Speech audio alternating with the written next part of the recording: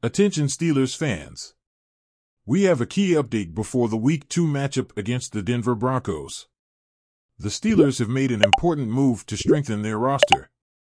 The team has elevated wide receiver Ben Skowronek from the practice squad, meaning he'll be available to play this Sunday. What does this mean? Keep watching to find out. Ben Skowronek, who was a special teams captain with the Rams, has been called up for the second time this season.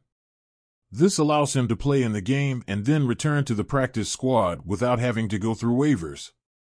It's a strategic move by the Steelers, as they only have one more elevation available before they would need to sign him to the 53 man active roster.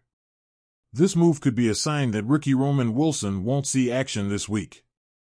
Wilson, who twisted his ankle during training camp, had been practicing at full capacity, but his participation decreased toward the end of the week.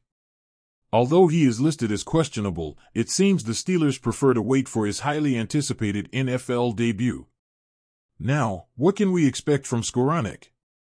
Not much on offense, as his main role will be on special teams, specifically as a gunner, just like in Week 1. While he won't be a standout on offense, his special teams ability is crucial, and the Steelers are making the most of his experience in this area. In addition to Wilson, the Steelers are also awaiting decisions on Russell Wilson, who remains listed as questionable for Denver.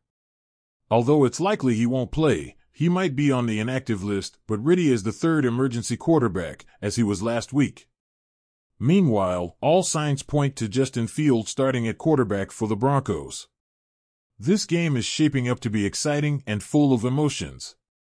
Make sure to leave your comments on what you expect from Skowronek and whether you think the Steelers will come out victorious in this crucial matchup.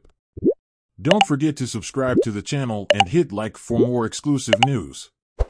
See you in the next video, fans.